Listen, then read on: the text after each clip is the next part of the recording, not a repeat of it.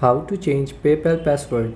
Hello and welcome to our channel Web Whizz. In this tutorial, I'm going to show you how you can easily change your PayPal password with email. So please watch till the end to properly understand the tutorial.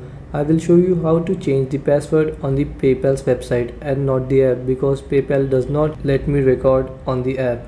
So open up any browser on your phone then go to paypal.com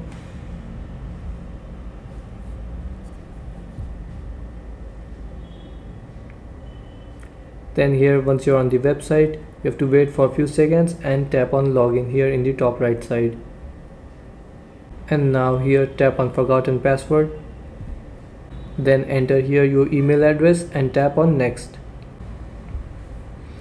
then if you use multiple email you can tap on change and select the email. After selecting, make sure you have selected email and then tap on next. Now PayPal will send you a security code on your email address. So open your email address and enter the security code here and tap on continue.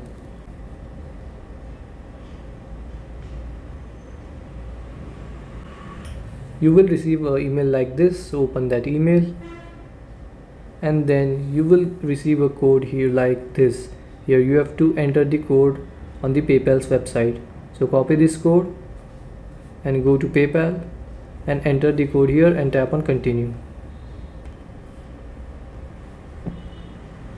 Then here you will get the option to create your new password. So uh, enter here the new password and again enter here to confirm and then tap on save.